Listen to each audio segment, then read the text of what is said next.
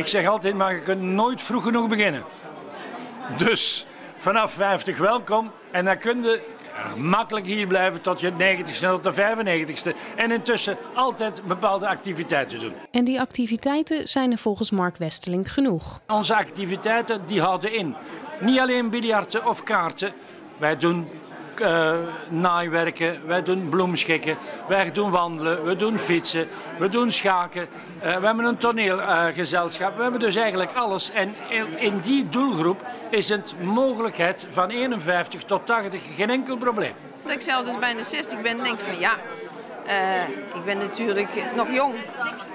Maar van de andere kant komt er natuurlijk ook wel een moment dat je zegt... het kunnen allerlei omstandigheden zijn waardoor je zelf ook zeg maar, uh, ja, hulpbehoevend wordt en dergelijke. Dus uh, ik sta er op zich wel voor open. Iemand anders die ook open stond voor de 50-plus-beurs was burgemeester Wobine Buis. Ik ben natuurlijk een beetje geschrokken van de doelgroep, hè, 50-plus, want ik uh, realiseer me dat ik er zelf ook bij hoor.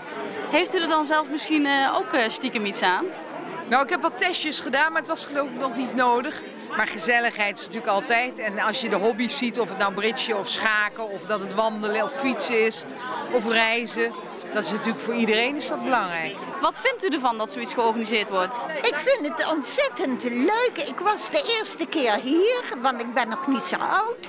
Maar uh, ja, je krijgt een hoop informatie. Nou, dat vind ik, dat vind ik heel fijn. Ze zijn er heel lang mee bezig. Ja, dat vind ik echt goed. Maar ja, je hebt een goed bestuur hier. Geweldig. En de sfeer, de sfeer is altijd geweldig hier. Want ik vind het mooi om hier te komen. En ik heb mijn bloedsuiker geprikt.